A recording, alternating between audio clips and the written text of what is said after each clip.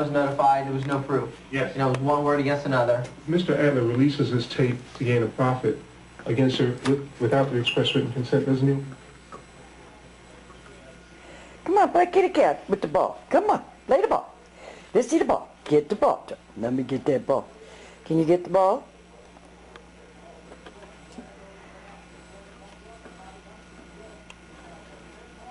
Well, you're not playing with the ball. Do what you were doing like a kitty cat. That a boy. Get it, dope.